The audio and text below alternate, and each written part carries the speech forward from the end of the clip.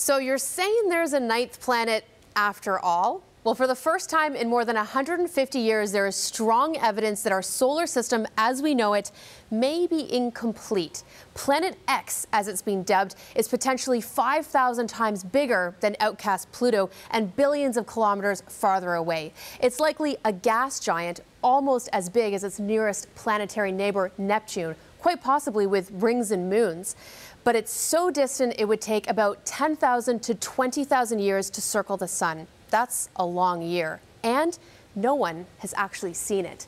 The evidence for it, though, was found by researchers at the California Institute of Technology who based their findings on computer models of nearby objects acting strangely. Those six objects lie in the Kuiper Belt. That's the band of icy objects and comets beyond Neptune. These objects all line up on a shared plane, and their elliptical orbits seem to be deflected. Computer modeling showed that these orbits would be disturbed in such a way by the gravitational pull of a huge planet far beyond Neptune and Pluto.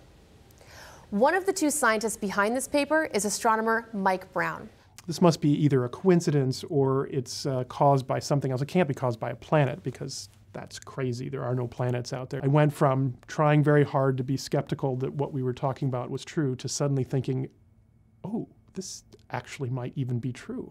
Quite the legend in the planet bestowing department, he's the so called Pluto killer who helped lead the charge that got Pluto demoted from Planet 9 to a dwarf planet back in 2006. As he puts it, Pluto is a gravitational slave to Neptune, the last real planet to be discovered in our solar system in 1846, followed by Pluto in 1930. And humanity got to see the small icy world up close for the first time last July thanks to New Horizons.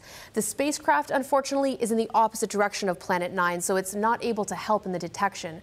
But the team anticipates its discovery via space telescope within five years or less. So stay tuned. And now, your Science Smart. If you have a science question on your mind, send me a tweet and I'll try to get it answered.